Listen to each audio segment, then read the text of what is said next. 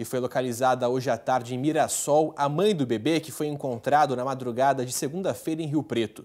Ela prestou depoimento na delegacia de Mirassol e logo foi levada para a Delegacia de Defesa da Mulher de Rio Preto. A mãe chegou com o rosto encoberto e estava acompanhada de uma investigadora. Nem ela nem o advogado quiseram falar com a imprensa. Os investigadores da delegacia de Mirassol chegaram até a mulher após uma ligação anônima. O menino, de aproximadamente 15 dias, estava em um bebê conforto, ao lado de uma lixeira no bairro Alto Rio Preto, zona oeste da cidade. Ao lado dele tinha uma bolsa com diversos itens voltados para cuidados com o bebê. Bom, como a mãe foi encontrada, o juiz da Vara da Infância e Juventude, Evandro Pelarim, informou que o bebê não vai mais ser incluído no cadastro de adoção. Ele vai ouvir a mãe para só depois tomar uma decisão. Por enquanto, o bebê está em um abrigo.